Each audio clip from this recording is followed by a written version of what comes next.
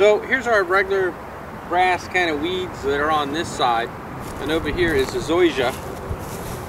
As you can see, it's still really dormant. It's still cold out here. It was very cold. It was down in the 30s just a couple days ago. Now it's 62. So it, it spreads all over the place.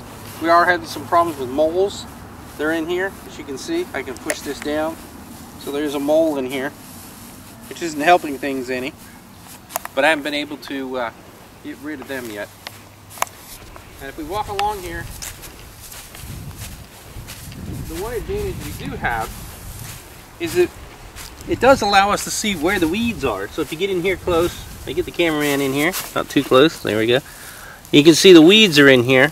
So it does make it a lot easier to pull up a weed and get rid of it. And I'm not really getting good into the root there because it's green and it contrasts against the dormant zoysia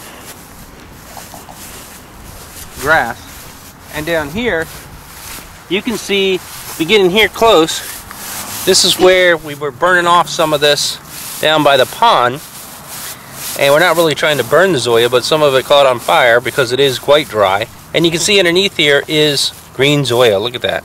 So it's all ready to go. It's just got this top layer on it. If I pull this back, you can kind of see that underneath. So it's it's ready to grow. And what we're going to want to do is get rid of this hay. Okay.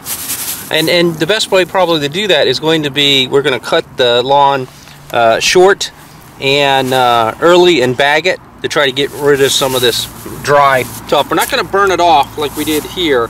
Um, again, that was to burn this section off uh, down near the pond. Come this way. So if we look up here, again, there's still that uh, leftover piece of the snowman.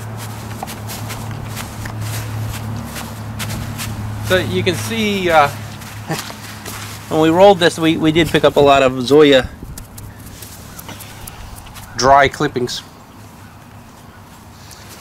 And up here, you come this way, go there. Come here, you can see, again, weeds are sticking out really good. You can really see those. So when when spring uh, pops here quite shortly, uh, we'll take another picture here so you can see what happens as this starts to green up and we'll see how evenly it greens up and uh, see how it fills in. Okay, as a reference point, this is May 7th, 2013. That's the grass up on the hill. As I pull back, you can see where zoysia, yeah, I'm pronouncing it correctly, there's zoysia, is here. And it's doing really well. This is, uh, again, May 7th, so we have an early spring. Now, if you can look here in the video, you do see a bit of a purple hue to it. And if we get up here close, get you a piece here, you can see that's what's happening. If that'll focus there, uh, it, it's going to seed. Now, I didn't expect it really to seed. I didn't really read that much about that. Uh, self-seeding. Uh, but I'm cutting this. And the reason I'm doing this and not letting it just continue to seed is because it assumes that if you, if you have a hybrid grass, which is mixed with another grass, it may or may not breed true. And what I mean by that is that if you let it seed, some of the seeds may go back and no longer be compadre zoya or but rather what was made, what, what is made up compadre Zoya. So you may get splotches and different types of Zoya here. I'm not really sure if that's true or not. I called a couple zoysia places and they didn't really give me an answer. They didn't know either, which was surprising. Um, and probably because maybe they want to sell me some more seed. But the point being, you know, I really don't want to mix this. This is doing well. It will work on its runners, so that's all that's really important. Uh, coming around here, a place in the earlier videos, if you looked at one, two, three, you'll see here, this is a spot where we planted plugs. And you can see these actually finally made it. I mean, it really took them quite a while to get established, but these are all plugs that we put in last year. But what is interesting is this is plugs, and you can see the distance between them has not filled in. They're sending out runners, but it's just not quite there yet. And if I look right over here, this is seed. Huge difference. Okay, walking through the grass, continuing here on May 7th. We can see there are a few spots up here that have gotten brown. That's from thankful for the dog coming out here. We try to keep the dog off of here because it will brown uh, the area. It will kill the zoya, zoysia because it gets uh, too much acid. Now, if you do get dog urine uh, on the zoysia, if you go out and spray it with water, or even if you want to get a little more uh, intense about it, a little water with some uh, lime or even baking soda to that point, right on that spot, if you have an accident there, or the dog gets in that area, or you got a neighbor's dog that comes over, just spray it down. What that does is dilute the acid in the urine and will prevent that brown spot from appearing. If it does kill it though, uh, as you can see up here, it, it does really take it out. And the best thing is to do is again to lime it a little bit and as you can see the runners are already moving in here and starting to take over. They will fix that spot. So with Zoysia, the nice thing is obviously you get, and here's a spot that's gone a little further. You see that's almost completely repaired. So in a short period of time, I mean we're talking a few weeks to a month depending on the size of the burn, if you will, uh, it will repair itself. Unlike other grasses where you're going to have to go buy more. Here, these brown spots are actually caused by a mole, which we got that turkey, but uh, he's working his way through here and uh, terrorizing the lawn. And unfortunately, uh, when he does that, he uh, gets underneath the roots, exposes the roots to air, and that's what's killing the zoysia here. But if you look at it from an angle here, you can see most of this still looks good, quite nice, even though we've had a couple little setbacks. And I really call these little. I mean, we're dealing with nature things here. We're dealing with the dog. We're not dealing with anything we did planting-wise that actually affected anything. Matter of fact, if it wasn't for the mole and the dog, uh, we'd have a perfect lawn at this point.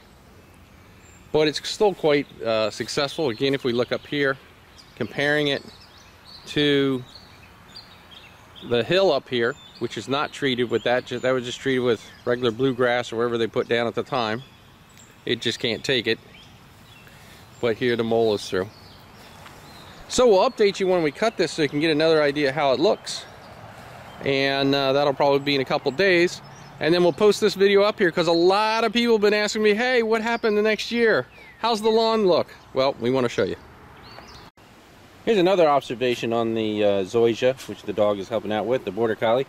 Um, the Where we have some drains, uh, we, have trimmed this back a bit, though, so that's not naturally brown. It's actually pretty green. But as you can see, this comes down here where these drains are. The grass is really, really green. Okay, and it's a classic thing where there's a drain, there's a nice uh, green spot.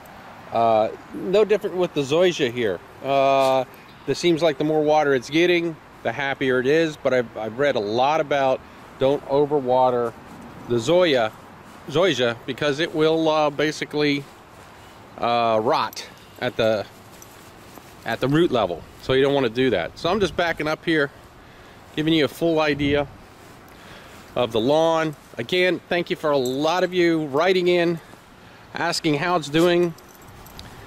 Uh, after year two, the first year being seeding, and how quickly this took. And again, here, I'll let you just take a look at the density of this. Uh, compared to plugging, you know, it's, it is an amazing difference. Uh, you basically get a full lawn within that first year. You've got a full lawn. It's completely done. And it's nice, beautiful. And again, I'll, I'll give you that comparison up here one more time. You see how that's just on that hill dying it's brown, it's mixed, it's weeds, a little bit of everything. And backing up all the way here. So there it is.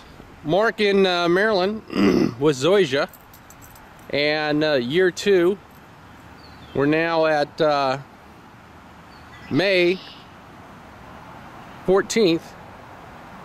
And you can see it's beautiful. So, I encourage you to give seeds a try. Remember, it is an expensive venture. Some of you have asked uh, how much uh, mulch and stuff I used underneath here and things like that. And the different, uh, if you go back to the first tape or the first uh, YouTube uh, video, you'll actually see that it was a very thin layer, and that's all I can really tell you. You just kind of got to mix it together, and it just has to be enough the seed can get started, get going before it hits that clay soil.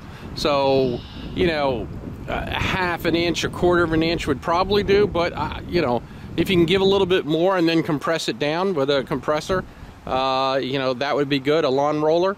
Uh, you know, with the seed in there, it's going to be nice and compact and retain the water and everything needed. But you can see once this got going, these roots are obviously a lot deeper now. They've gone past that stage. They've had a chance to get started. And if you look here, right at the edge of where we stopped seeding, right here, you can see where these runners are quite long. I mean, some of these things are uh, maybe even a foot long already. Uh, they're spreading. So they're doing a great job filling in the gaps. Again, thanks for watching.